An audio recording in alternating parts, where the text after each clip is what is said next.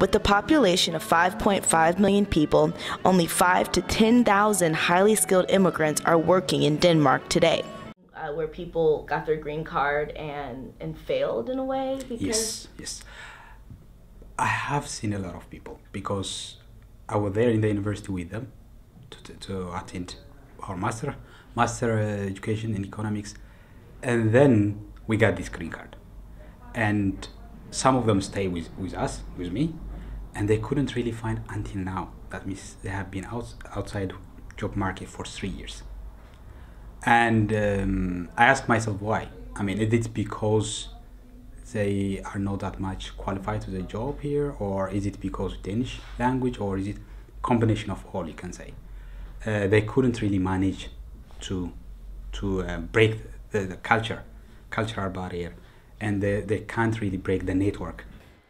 Daniel, who is a highly educated Ethiopian immigrant, believes that there should be more guidance after foreign workers receive their green card permit in order to live and work within the country. Denmark, it might be effective, but the point is, what about after that? After they come here, they need more help. They don't speak Danish language, they don't know the culture, they don't know about the work attitude. They need more more help than just giving them the green card. In the second aspect, I think they fail. In the first aspect, they might be successful bringing many skilled people to Denmark. But in terms of accommodating them and giving them the right job and then contribute to uh, Danish economy, I doubt it. I doubt it. So I can just see it from these two perspectives.